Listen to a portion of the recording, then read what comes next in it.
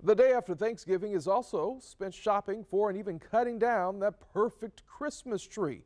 Inventory has been a hot topic over the years, including last year's supply chain issues. The owner of a farm in Middleburg, which grows its own trees, tells On Your Side's Tristan Hardy he's concerned about the future for a different reason.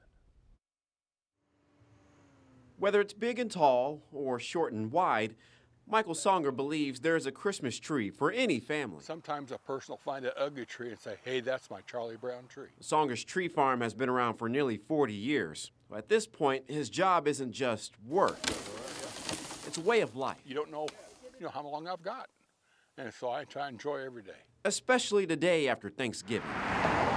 It's opening day. People will line up outside his farm waiting to cut down their own tree. Songer has sold hundreds of trees in his farm, and he's not really concerned about prices or inventory.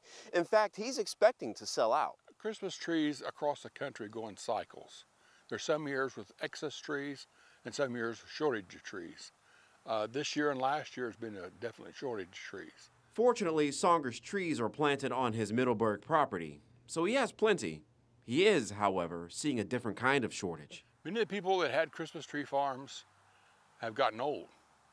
And a kid just can't leave high school and go out and buy a farm. Songer says there aren't as many family owned tree farms in Florida, but for now, he continues to plant his roots in a community that supported him over the years. Mainly, it's a fun thing.